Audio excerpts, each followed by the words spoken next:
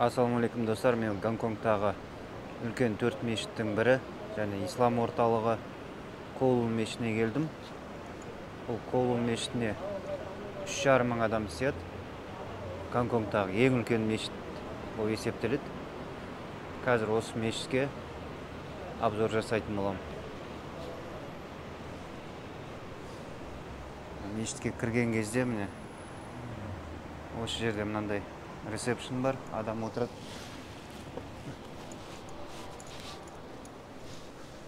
Аяк кийимди коебуз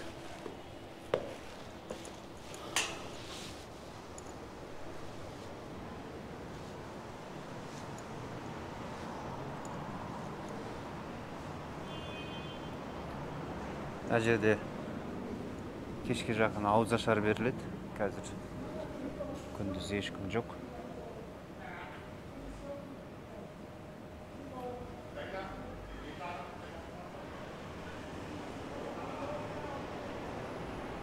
мешіт жалпы төрт этаждан тұрады мешіттің ішінде астыңғы бөлігінде мына дәрет алатын жері бар екінші этажында ұлдарға арналған медресе үшінші этажы намаз оқитын жер және төртінші этажы әйелдерге арналған бұдан бөлек ішінде библиотека бар және өзінің клиникасы бар.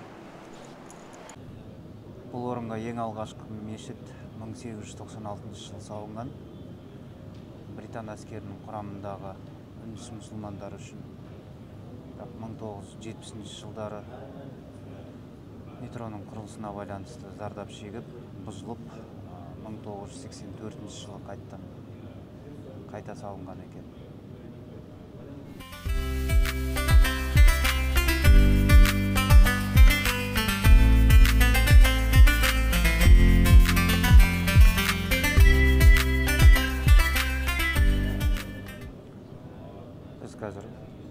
Зухр бесін намазының тұсында келіп отырмыз.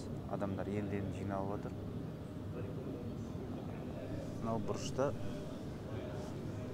қоршалып тұрған жерді көріп ғой. Осы жерде ихтикафта рамазанның соңғы он күндігінде ихтикафта жатқан кісілер қоршаудың ішінде жатыр. Намазға келушілер өте интернационалды ұлттар. Үндісі бар африкалықтары бар пакистанецтары бар. Гонконгтың биік биік үйлерінің арасындағы дәрежесі ең жоғарғысы дәл осы алланың үйі коулун мешіті.